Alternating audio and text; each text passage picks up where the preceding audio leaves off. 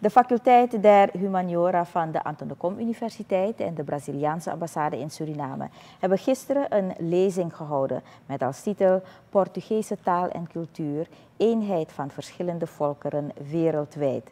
De lezing is gehouden in verband met de Internationale Dag van de Portugese taal en cultuur op 5 mei. De lezing is verzorgd door Telma Kotzebu, docent Portugees bij het Cultureel Centrum van de Braziliaanse ambassade in Suriname en de faculteit der Humaniora. Kotzebu gaat dieper in op het thema.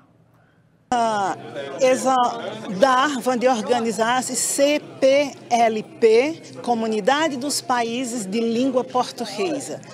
Dan is de gemeenschap Portugese talige landen, talige landen. En uh, wij zitten hier bij een manier bezig met de Portugese taal, Portugese cursus, intensieve Portugese cursus specifiek voor de Celpibras. Ook bij een Braziliaanse culturele centrum. Ik denk dat we hebben genoeg mensen die wat interesse hebben in de Portugese taal. En dan is het moment om te zoiets te doen. Is dit uw eerste lezing in Suriname? Ja, dat wel. Nee, nee, nee, sorry, tweede. Ik had een open dag voor de intensieve cursus Portugees. Waarom heeft u gekozen voor Suriname? Waarom Portugees in Suriname?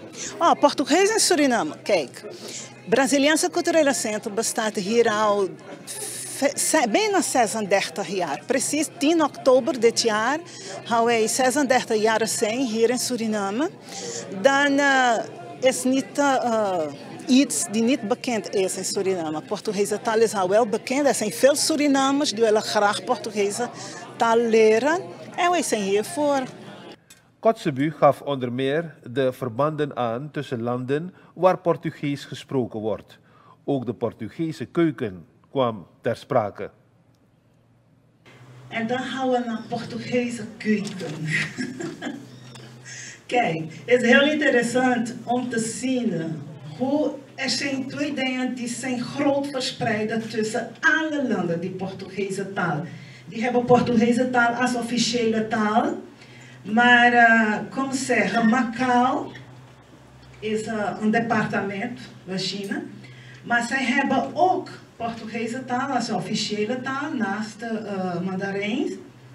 Maar we kunnen iets zien. Rijst komt bij alle landen. Maar afhankelijk van die manier hoe worden gekookt, zij kunnen andere naam krijgen bij Afrikaanse landen die kunnen Portugees praten en ook bij Goa en India. Dat was Telma Kotsubu, docent in de Portugese taal bij het Cultureel Centrum van de Braziliaanse ambassade in Suriname en de faculteit der Humaniora. Ze verzorgde gisteren een lezing over de Portugese taal en cultuur.